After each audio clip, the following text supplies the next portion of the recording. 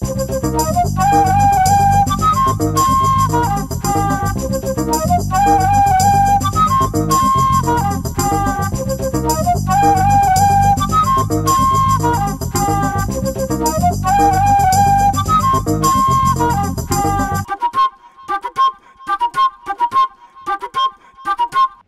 everybody, welcome back to another episode of Cavanaugh's Corner. Uh, I just want to say thank you for coming back to the channel. Uh, this is kind of a interesting review here. Uh, last time I reviewed King Kong, and uh, that was kind of a backlog review. It a movie I kind of stumbled upon on a sale and uh, you know bought it a you know a little while back and really wanted to review it. Now the movie I'm going to review today, obviously the, the title of the video has spoiled it as well as the background here. Um, but this is a movie that uh, it came out a while back actually, uh, a few months ago. But um, this was a set that appeared um, as a kind of an anniversary edition. And after not a long period of time, this set has completely disappeared and is now widely considered to be out of print. It is not in stock on any major uh, retailer anywhere. Um, Best Buy, Amazon, Walmart, Target, nobody has this movie in stock and they haven't had this movie in stock in quite a while. Set. Now, I have actually already reviewed the first Ghostbusters movie in 4K and I'll put a link to that uh, at the end of the video here, but what I'm going to be reviewing today is something really special. And uh, I'm this, of course, if you don't know what I'm talking about yet, it is this Ghostbusters 1 and 2 uh, 4K. This is like the 35th anniversary edition or something of this. It's, it's pretty insane. Uh, 35 years Ghostbusters came out. And uh, it's pretty un unbelievable. This thing came out in 1984 and the second movie celebrated its 30th anniversary earlier this year as well. So you got a 35th and a 30th anniversary for both uh, both movies. And you know this set here, I was not able to buy it when it first came out. It went out of stock pretty quickly. Uh, Ghostbusters fans are are pretty unique in that sense where if something new comes out, I guarantee you they'll buy it, and I'm one of those people. Sadly, at the time when this movie came out, I missed it. I did not get a chance to order it in time, and that was that. Uh, it was gone, and I really rarely saw it ever again. Cut to about five days ago, I'm walking around Walmart. Of all places, I'm going grocery shopping. Of all things, I'm going grocery shopping I've picked up some, you know, food. I got my chicken, I got my soup, you know, I'm going, you know, I'm going around, you know. And I'm like, you know what, let me go by the movie section. Let me just see what they got. You know, I didn't have a lot of money.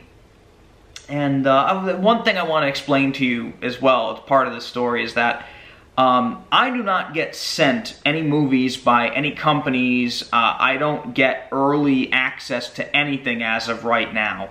Um, my goal in the future is to start contacting uh, movie studios to see if they will send me early copies of, uh, of these films so I can review them for you a little earlier and uh, not have to pay out of pocket uh, for these things. Of course, my reviews will always stay um, you know, my opinion. I will not let the fact that these movies are given to me sway my opinion. Although I do love these movies, um, and I would buy them regardless, I am uh, very much looking forward to hitting that uh, 1,000 subscriber mark so I can actually start making some kind of money off of these videos. As of right now, I make nothing.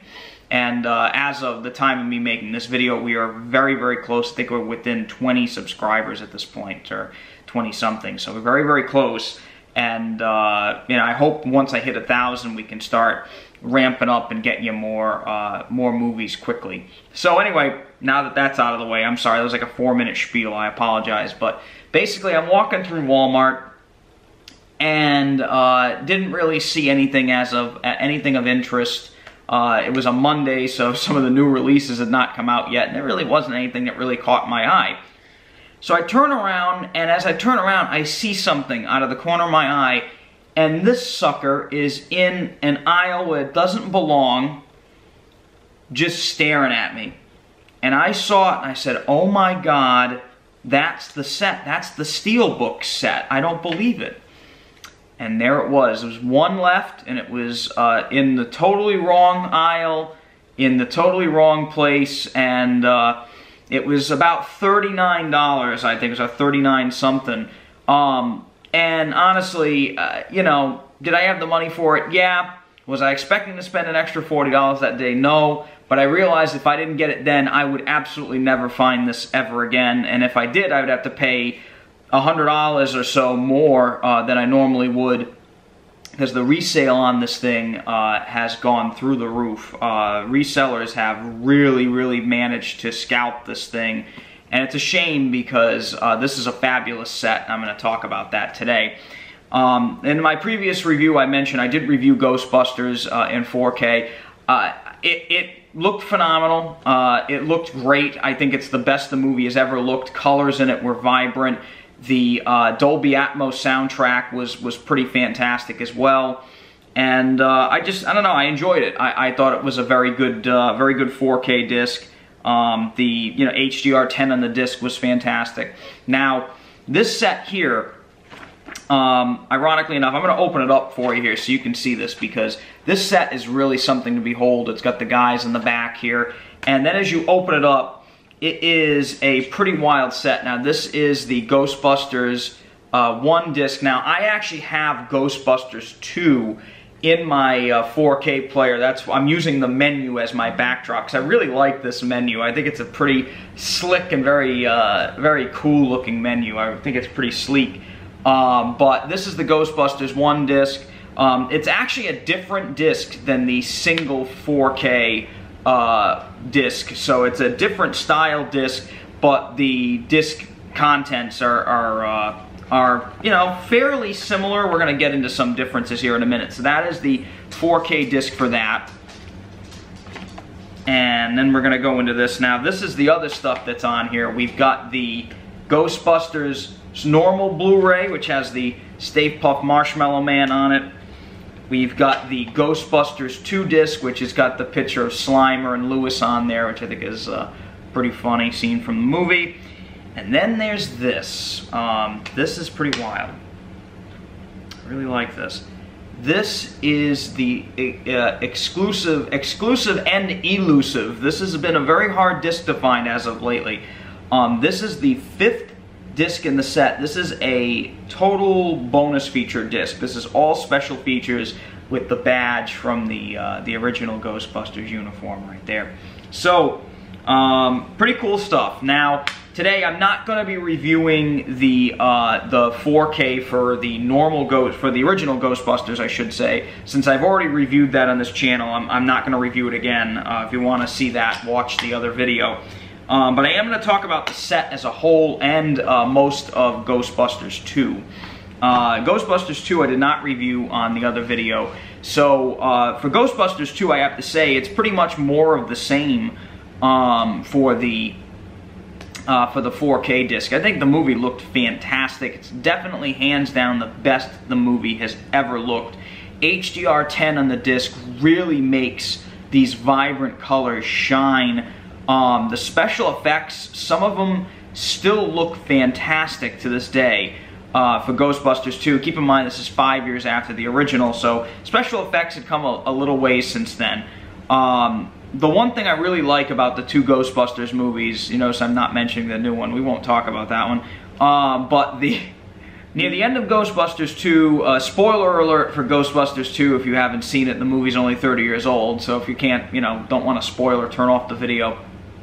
But basically, uh, near the end of the movie, they uh, make the Statue of Liberty walk off of uh, off of the off of the island and onto onto uh, downtown Manhattan, and uh, it's it's crazy. Uh, there's a Statue of Liberty walking down Fifth Ave. Um, but that's they do that in the movie. It, it's a lot of fun. Um, but the optical effects during that section look horrible, and it's not the fault of the uh, the 4K disc. It's sadly a fault of times. And uh, the movie, you know, as a whole, though, I think really is incredible. The Dolby Atmos soundtrack that's on this disc is also really fantastic. And I have to say, it's actually, I think it's a better transfer than the uh, than the the first Ghostbusters movie. To be honest with you, in audio uh, terms, I think it's a better audio track. Um, the overheads are used pretty well, uh, but the overall sound of the movie is just a lot beefier. And uh, especially during the courtroom scene when the uh, Scoleri brothers burst out of the, the slime and they have to strap on the proton packs and, and catch them. Um, that, that whole scene, all the sound effects are way better uh, in many ways. They're way deeper, it's a lot louder. Um, the audio throughout is just clearer. Uh, you know, same for the picture and everything. You know, picture is much clearer. You get much more vivid detail all throughout, and the sound. You know, the soundtrack is is really you know no different. I think it's a great great disc, and uh, even if you went out and bought uh, Ghostbusters 2 on its own. I, uh, I think it's actually worth owning. So if you can't find this set and you had the first Ghostbusters, the second one looks and sounds even better and uh, I was very impressed. Very, very impressed with that disc. Now, I'm going to talk about this set as a whole because this set has some um, some pretty cool stuff. The the um, the things that's really great about this set is that it, it is just loaded with special features. And a lot of times now, these older movies, they'll re-release them, they'll remaster them, they'll do all that stuff, but they really don't do a whole lot in terms of special features. And this set kind of blows everything that I've seen out of the water in terms of special features.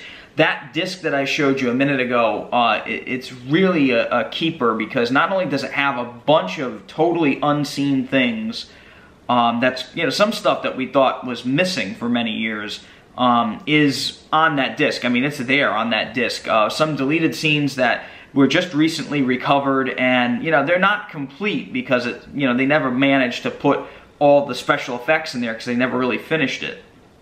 But I have to say, um, if you are a Ghostbusters fan, you'll really appreciate some of the deleted scenes. And uh, there's a scene that takes place at a fort, and there's a portion of it that's in the movie and they re-edited that part in the movie to make it look like it was a dream sequence when in actuality it was a real scene in the movie that they just you know never finished and cut a lot of stuff out. Um, so it's interesting to see. Um, there's also another deleted scene with uh, Bill Murray and Dan Aykroyd playing a different part as these two bums in Central Park. And uh, really interesting. I, I, don't know what that was about, but uh, I'm glad they cut it in a weird way. But I think it was just very distracting for the film. Um, you have a, uh, a reel, which is uh, an early exhibitor reel, and they were marketing the movie to different uh, movie theater chains that were going to show the movie.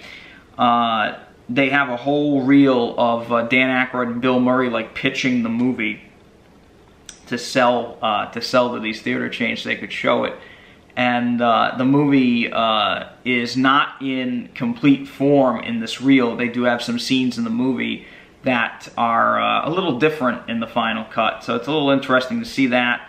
Um, they have the full TV commercial in there, which I think is really funny to see, and they have a bunch of outtakes from the commercial. And uh, the other thing that that disc has, it has stuff from the first movie, but it also has uh, bonus features concerning the second movie as well, which has been kind of largely ignored for many years now. And I, I, I actually don't mind the second movie. I think it's, I think it's pretty fun. It's okay. It's not great. Um, it does have some problems here and there, but I, I enjoy it. I think it's a good time. Um, but again, there's is some moments I like and there's some moments I don't. Um, the movie for the second one uh, has an entire uh, Oprah Winfrey episode where the entire cast is um, is on the stage and Oprah has the audience asking them questions and she asks them questions. It's actually very interesting. Um, and they also have the uh, the original unfinished teaser trailer, uh, which is in there and uh, that is basically the entire commercial that's in the movie uh, is like the original unfinished teaser trailer, but it's literally the commercial that the Ghostbusters make in the second movie. So pretty interesting to see. There's a bunch of stuff on that disc. And that's only on that fifth disc. Uh, the standard Blu-rays also have a bunch of other special features. Uh, they also have a fan commentary on the first and second movie. Um, the second movie actually has uh, some of the filmmakers on there as well. Um, very interesting stuff all around. The set as a whole is absolutely fantastic. Um, I cannot recommend this set enough. Sadly, it is very, very hard to find now, and it was some kind of strange serendipitous miracle that I actually stumbled upon this thing because I absolutely love this movie, uh, love these movies, I should say. And anyway, I can't wait until that next Ghostbusters film. I'm really looking forward to that. Uh, I've been waiting for a true sequel to the second one here since I was a little kid. So very, very excited for that. We can only hope that Ivan Reitman's son kind of writes the the path here and uh, guides the ship a little better than we got last time. And uh, I don't know, I'm, I'm looking forward to it. But anyway, that's all for today for Cavanaugh's Corner. If you enjoyed this video, hit that thumbs up button and subscribe to the channel for more content like this. Okay, thank you so much. Have a good night.